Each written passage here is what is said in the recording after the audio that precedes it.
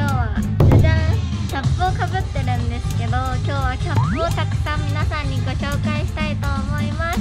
ぜひ最後まで見てください。それではスタート。はい今日は私はナイキのキャップをかぶってるんですけどこれも WEGO の商品なんですけど今すごいいろんなブランドのキャップがあってそれを全部紹介したいと思います。まずじゃじゃーん。いろんなカラーがありましてまず B ですね。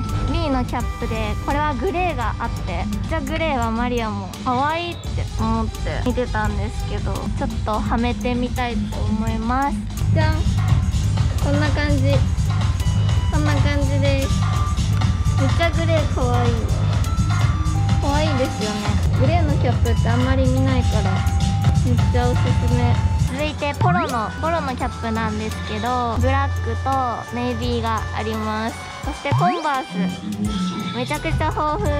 赤かわいいね。赤かわいいわ。でこのこれなんだっけ？これ。でもこのこのコーデュロイのさ生地が多いんだけどこのオレンジとかすごい目立つし可愛いなって思います。でフィラもあります。可愛い。マネキンも帽子かぶってますね。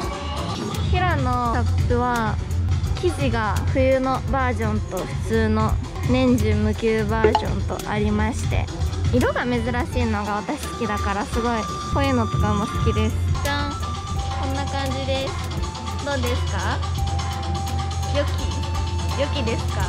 はいそしてブランドの他にもビゴーのオリジナルのキャップもたくさん売ってるんですけどこれは結構年中無休な感じで一年中使えるような生地にもなってましてこのここのロゴがめちゃくちゃ可愛いんですよ。英語がたくさん書いてあって。で無地の何にでも合わせやすいキャップだったりコーデュロイのキャップだったり下にもすごい可愛い系のピンクとかオレンジとか青とか紫とかのキャップも売ってます。こんな感じでめっちゃ多いんですね。そしてバケットハットもいっぱい売ってます。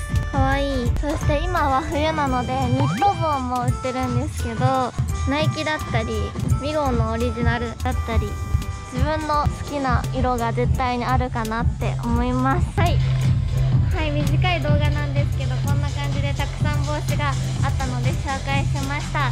帽子好きにはマジでたまらないと思うのでぜひ皆さん1回でもいいので2号に来てください。ぜひチャンネル登録高評価ボタンよろしくお願いします。以上マリアでした。